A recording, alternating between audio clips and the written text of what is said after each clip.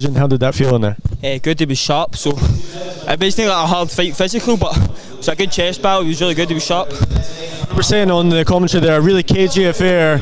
Uh, it felt like one or two moments were really going to be decisive in there. I, I didn't want to, if I'm jumping in and he catches me, that's me playing catch up for round one, so I didn't want to get caught with something big early and has me in the, has me in the front foot, but just like I say, my dad and Ricky and E, um, Robbie and Ian and just stuck to the game plan, it worked. You had a big final third round. It looks like you won that one clear. Were you confident you'd done enough over the first couple of rounds? He landed a couple of shots in the first two, but wasn't anything like he came forward. He was just skiffing as now he's coming in. So I, I thought, I thought I won the first two. Then the last round, I just he started him up.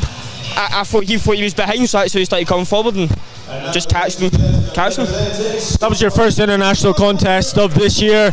Are you hoping for a, a big 2023? Of course, I want, I want everything, and also I get a big thanks to my sponsors, Conley Sport. Um, I forgot.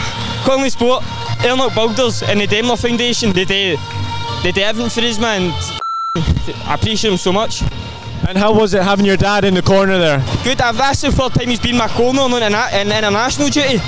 And my dad's been there, he's done it all. I'm not going to disagree with him in the corner. I like what he says to me and it worked. Well, well done tonight, Drew, and look forward to seeing more of you in the future. Thank you. Cheers.